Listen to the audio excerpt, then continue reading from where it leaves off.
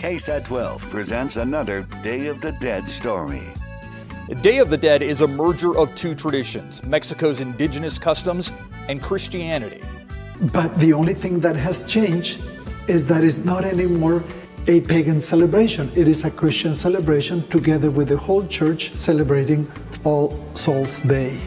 This merger began when the first missionaries arrived after the Spanish conquest and they needed a plan.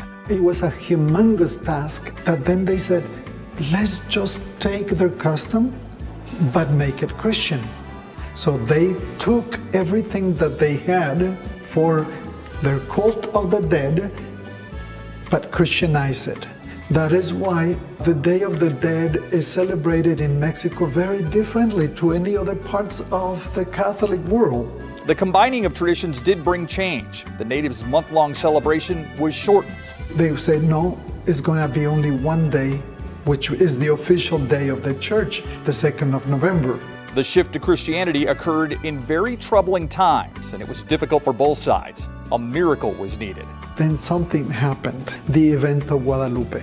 Guadalupe appearing as an Indian woman, she was probably the most important or central element of evangelization and accepting Christianity uh, in the New World. So important that to this day you'll find her placed atop most altars during Day of the Dead.